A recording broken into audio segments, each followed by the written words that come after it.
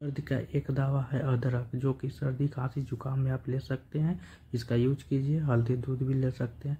आज के दौर में मौसम चेंज हो रहा है तो आठ लोगों को सर्दी, खांसी बढ़ रही से इम्यूनिटी सिस्टम बढ़ाए। लाइक, शेयर, कमेंट करें।